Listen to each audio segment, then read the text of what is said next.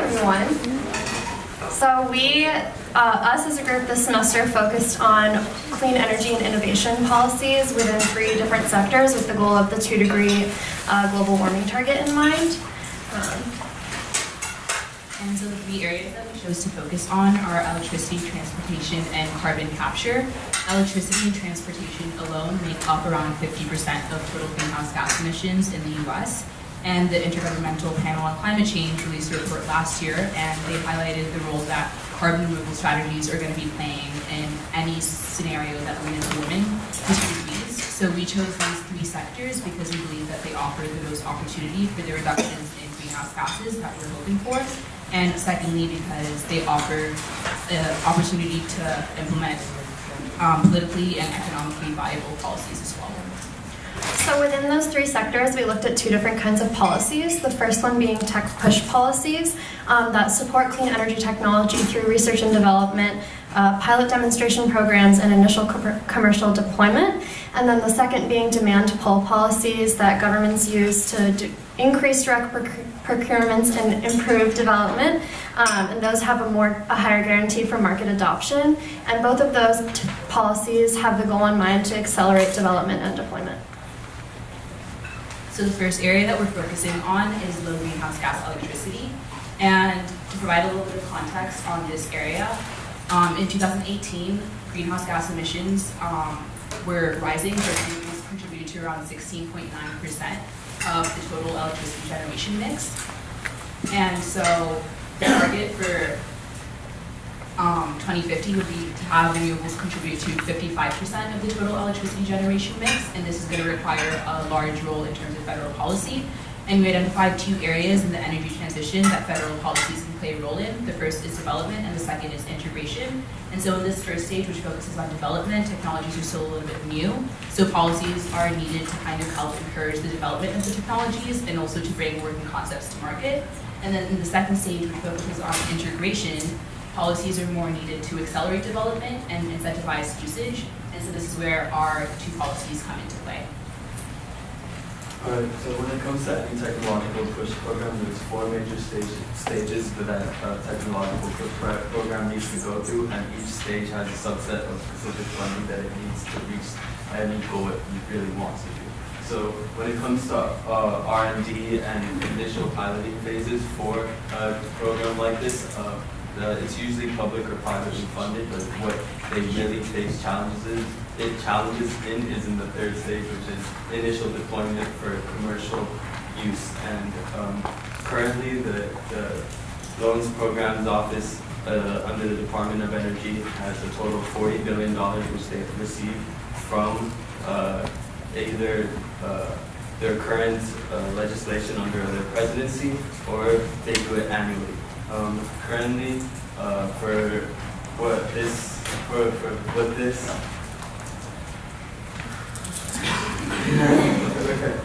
because of this, the third stage, otherwise known as the value of debt, our first policy recommendation is to increase the Department of Energy's loan program, loan program offices loan guarantees given to renewable and efficient energy projects. The loan programs office a total, so in comparison to fossil fuels, um, the loan programs office gives $8.5 billion currently to fossil fuel projects, while it gives 4.5 billion to renewable energy and efficient programs. But the whole reasoning behind this is um, conservative push market demand for uh, currently existing grid system that has already functioned off fossil fuels. So the whole point of this is to increase the loan programs offices um, loans towards renewable energy and efficient project, projects from 4.5 billion to to approximately 10 billion. This would be a percentage increase from 10% to approximately 25, and what it would do is help in, increase the distribution of uh, renewable energy and uh, other forms of resilient pro programs into the grid system.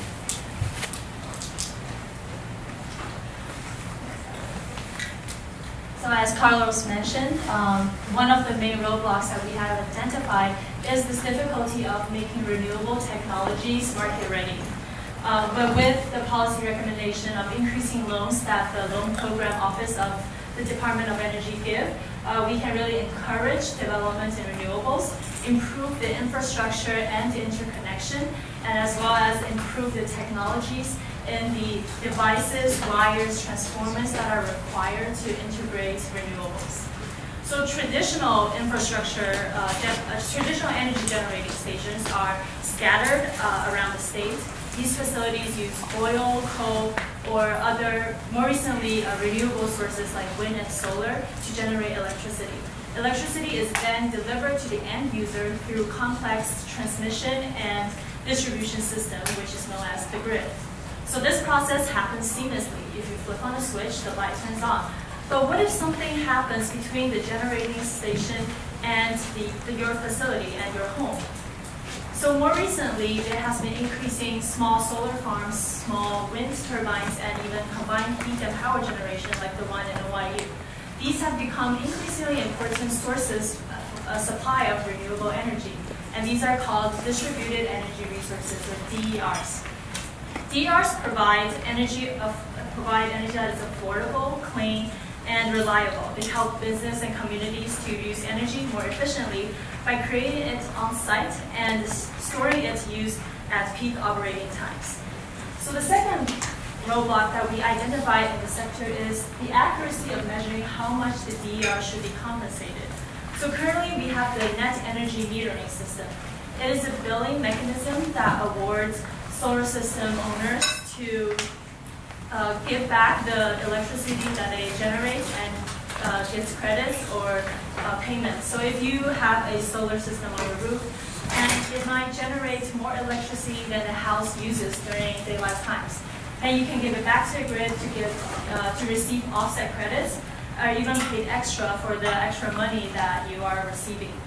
However, as the renewable penetration rates grow and consumer demand changes, uh, this singular net energy metering system may not be as sufficient. Uh, it, because it does not accurately reflect the actual value of the net benefit of the electricity you give back to the grid. These benefits might include reducing emissions of pollutants, increasing grid liability, shifting load to avoid the need to operate more costly peak generation, and displacing or deferring the need for traditional grid uh, infrastructure expansion and upgrades. So this net energy metering fails to account for locational, temporal, and environmental benefits uh, that is associated with specific DER. And this is why we come up with our second policy. So for our second policy, we encourage states to replace NEM with a more comprehensive framework for valuing DER. And we recommend the value stack approach, which is essentially kind of what we already just said, is crediting owners that power their grid with renewable energy. And as you can see, we kind of just explained also of how this process works. And in fact, New York has already implemented the value stack, and it aims to account for the energy value, capacity value, the environmental value, the demand reduction value, and the location system relief value. And we think it can be successful if deployed properly, but there needs to be further studies. And that's why we think that the DOE can actually help support states in this transition. And there are two ways that they can help. Uh, the first is that they can commission a study on DER integration, which, um, which will basically help break down uh, the impacts of DERs into different categories. And this way, states will have a framework that they can use to model their NEM replacement policies. And the second is that they can finance updates of infrastructures to improve transparency. And this will be things such as air quality monitors, time of use monitors, and other essential technologies. And finally, utilities will have a greater incentive to consider DERs in their planning processes under a framework that not only accounts for different benefits that these resources provide to electricity system, but also compensates them accordingly. So just a few takeaways. While renewables are the fastest growing energy source right now, they still only make up around 16.9% of total electricity generation, and we need to have them making up 55% by 2050. And so in order to achieve this goal, we're going to need federal policies that can, one, play a role in addressing market barriers, and secondly, in creating consumer demand for renewable technologies. Right, so our group was working on low greenhouse gas transportation technologies. Uh, so transitioning to a society where uh, clean energy is very important, but transportation is also very important because it is the largest emitting sector in the United States.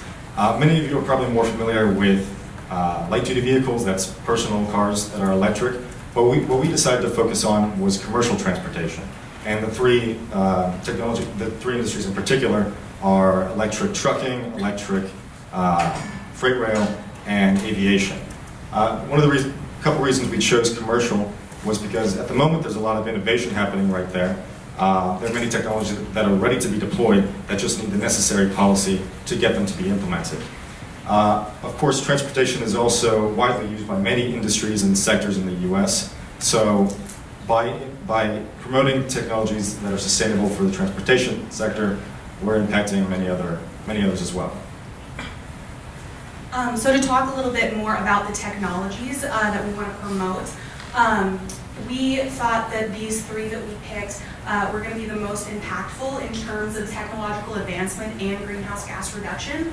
Um, so first we have electric aviation. Now the kind of technology in this field that we're looking at is going to be um, replacing short haul flights. So that's anything under 900 miles. Um, these aircrafts are tiny. They fit somewhere between 9 to 12 people. Um, but it is the most impactful uh, area within aviation that we can look at as short haul flights uh, make up over 50% of greenhouse gas emissions from the aviation sector in the United States. For commercial trucking, we're looking primarily at electric powered tractor trailers. So these are semi trucks that would replace the conventional diesel powered uh, tractor trailers that are on the road right now. And electric freight rail, most uh, trains uh, that do freight in the U.S. are diesel powered, so we're planning on transitioning that to a fully electrified system. Because of different uh, technological maturity levels of these technologies and also uh, adoption points that they all occupy, uh, with electric aviation at the beginning and then followed by electric trucking and low greenhouse gas uh, rail transportation, they have differing points of legislative history. Uh, for aviation, there's very little existing policy. Um, pretty much the only thing that exists are private initiatives by entities such as Miami-Dade International Airport that has installed uh, charging infrastructure for electric aviation technologies. Um, for electric vehicle trucking, you have federal tax credits for EVs that were instituted in 2008. Um, these are probably the most popular uh, tax credits for electric vehicles um, that have encouraged you know, mass market adoption. You see this applied a lot with uh, Tesla, those kinds of companies. And then lastly, for uh, low greenhouse gas freight, there's no federal legislative history, but independent states such as California have taken on initiatives to install uh, and subsidize infrastructure to promote adoption of these technologies. So in terms of policy recommendations, we broke it down into three separate phases. The first being tax credits. So we recommend providing tax credits uh, to commercial transportation companies in the sectors you just heard about um, that use and further um, electric propulsion technology. Um, this tax would obviously be capped whether at uh, a time limit or at a capacity limit. Um, the second phase is infrastructure for charging stations. Um, we recognize one of the largest roadblocks in this kind of technology is making sure that uh, the infrastructure is available everywhere all at once. Nobody's going to buy an electric vehicle if they aren't guaranteed that they can make it from point A to point B and then back again. Um, same goes for companies investing in uh, electric aviation. Um, this would also help build grid resiliency um, and R&D in uh, further electric um, further electric research. Uh, and then our third phase is a military adoption requirement. Um, so we felt that this was an important area to target, seeing as the United States government is one of the largest emitters of greenhouse gas. Um, so things such as fleet mandates um, and would incentivize research and development in electric transportation um, and would create a demand right out the gate for technologies like this. Due to the nature of e-transportation, there's a number, uh, well, it depends on a number of tangential industries and also benefits a number of tangential industries. Um, so a few things that it depends on energy. Um, simply, if it's getting dirty energy, then e-transportation does not have the low greenhouse gas emissions claims um, that we would like it to have. Um, and furthermore, e-transportation has a huge reliance on battery technology. Um, so oftentimes the demand for precious minerals and metals that go into these batteries have detrimental environmental effects as well as socioeconomic effects in the countries in which they are extracted from. Um, e-transportation also has the potential to benefit a number of tangential sectors, such as uh, energy storage, which of course contributes to grid resiliency, also encouraging battery R&D, uh, making more efficient batteries and energy storage in general, and also mitigating renewable intermittency problems, uh, therefore promoting more sustainable renewable energy sources in general. So just to give you a couple of takeaways for our group, uh, in order to, the policies that we're going to need to get these technologies adopted in the transportation sector largely rely on uh, subsidization and financial uh, incentives. Um, in order for these technologies to be adopted fully, though, there's also going to be a need for policy that improves the infrastructure of, uh, for electric vehicles throughout the country. Um, and finally, the- if, we, if these technologies are implemented and all these commercial transport sectors do adopt them, then that provides a wide number of tangential benefits for, um, for the United States and other industries. So even with the reductions in electricity and transportation energy use that they discussed, it's hard to imagine completely eliminating these emissions. So that's where carbon capture technology comes in. Um, the importance of incorporating carbon capture technology into climate change mitigation is increasing. For example, in the fifth IPCC assessment report, they determined that to have a greater than 66% chance of keeping warming between 2 degrees Celsius, 101 of 116 scenarios use carbon capturing technology. Carbon can be captured naturally through regenerative agricultural practices. However, we'll discuss the technical solutions. So the first is direct air capture and storage, in which CO2 is absorbed from the air directly with filtration systems and separated with chemical systems. It can then be converted into a pure gas to be sequestered or utilized. Another technology is bioenergy and carbon capture and storage, um, in which biomass is converted to energy, and from this process, the resulting CO2 is captured and stored or utilized. Despite the existence of these technologies, they are in the beginning stages of deployment. For example, there's only 17 BECCS projects worldwide. Most drawbacks to a more widespread implementation can be due to lacks of funding and infrastructure, and our policies would work to combat this. Currently, policies do exist to increase the viability of carbon capturing technology, however, less so than for transportation and electricity. One example is a demand pull policy, which is the 45Q tax credit. Um, this policy gives tax credits to projects that capture carbon for use or storage. Additionally, there are technology push policies, such as the DOE Carbon Capture, Storage, and Utilization Programs, which fund projects to be implemented at the National Energy and Technology Lab. Our first policy recommendation is to recommend Congress increase the 45Q tax credit for carbon captured for enhanced oil recovery. Although this may seem controversial, EOR is a feasible way to scale up expensive carbon capturing technology by working with the existing oil industry. The profits from selling oil could offset costs of research development and deployment to make future technology more widespread and cost effective. Once technology is used in EOR and its growth is enabled, it can then be applied to other sectors for utilization. Our second policy would work to overcome the roadblocks of utilization. We recommend con Congress create a carbon tax where the revenue is then used for transportation and storage infrastructure. These two policies would help overcome both cost and implementation barriers. So, um, enhanced oil recovery, also called tertiary recovery, is the extraction of oil from an oil field that cannot be extracted otherwise. Tertiary production of EOR requires the use of pure carbon dioxide, which has the property of mixing with the oil to swell it, make it lighter, detach it from the rock surfaces, and allowing the oil to flow more freely within the reservoir. And according to the IEA's analysis, uh, can result in a net 63% reduction of carbon dioxide emission for every barrel of oil produced compared to the conventional oil production technology, and reducing a total of 2,400 megatons of carbon dioxide, which is 80 times more than is captured today.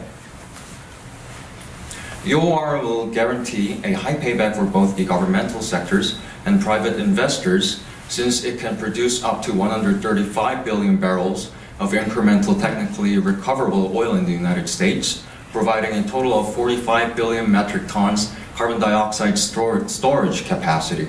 And recovering 100 billion barrels of oil through EOR technology will result in $8.5 trillion in revenues and economic activities accruing to the participants in the value chain, providing a total of $3.2 trillion to power industries. However, policy barriers still exist hindering instant application of EOR. And one of the most severe problems is the cost gap.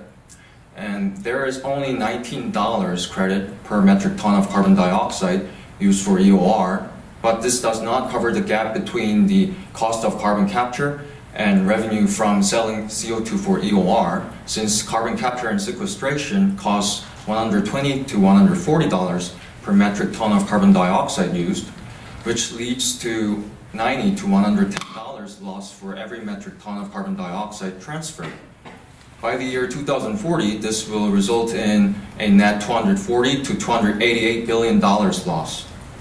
Thus, we recommend that the Congress increase the value of 45Q tax credit to a level of $30 per ton or more by 2021, plus $10 per ton until 2026. What's going on? Anyways, plus $10 per ton until 2026 in order to reduce the cost gap and also allow diverse uh, industries to jump into this market. Great, though EOR provides a market demand to meet the technology with where it's at now, we don't see it as the end goal for capture carbon capture technology. Um, there's a lot of other industries that have identified ways to use carbon capture. Um, some to highlight are construction materials provide the largest um, chance to reduce emissions through using captured carbon in those technologies, and then algae-based products have a lot of really great short-term impacts. However, because of the lack of affordable hydrogen uh, that's required to purify captured carbon to make it usable, um, it's like another barrier. And then as well, there's a lack of storage and transportation infrastructure um, that exists to also make that captured carbon usable in other industries. Um, so we've identified another policy proposal to create a carbon tax that will provide funding for the development of carbon capture and utilization and storage in other industries that would focus on storage and pipelines.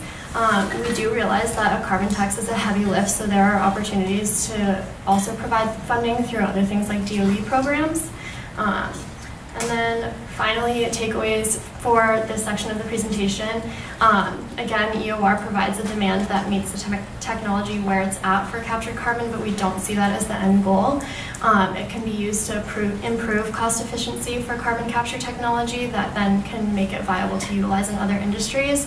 However, without developments in carbon capture and utilization storage infrastructure, those barriers will still exist. So that concludes all of our policy recommendations. These policies that we've put forth tonight are ones that are some of the ones that we believe can make the greatest difference in helping the U.S. reach its emission goals and keep warming below 2 degrees Celsius. Um, they, uh, we've covered low greenhouse gas electricity, transportation, and carbon capture. What we hope you all take away from this is that we're going to need government policies to promote these technologies.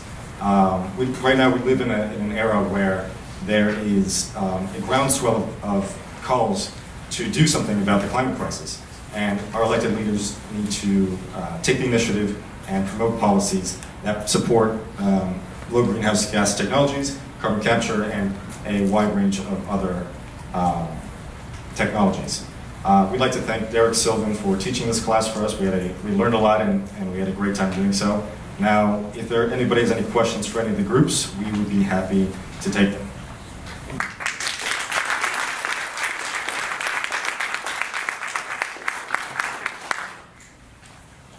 Yeah, I have a question about the actual carbon tax. Did you have a number of a specific? No, we didn't come up with a number because we thought it was kind of like a pretty big jump from where we're at now to request something like that. So it was kind of like an initial idea, but we also saw like additional or other sources of funding coming from DOE programs. Um, we just identified that there was a need for funding to develop carbon capture infrastructure, and that was an initial idea. Could you put back to one of the slides? Which one? The, the one that talked about the taxes. Oh, the 45Q tax? Uh, no, it was the one that you Oh, this one? No, four, that was, no, that one, yeah, no, four, right before. Sorry. Because I was just a bit confused, it was the, the low, the low tax credit. for the EOR, that was a nineteen dollar per ton of CO2. Yeah, it's nineteen dollars per uh, ton of But CO2 it's right not- now. Yeah, so it's not the, the actual carbon test that exists in the country at the moment, which is like forty dollars. No, this is the 45Q tax credit, not to be confused with the carbon tax. So they're two different things, yeah.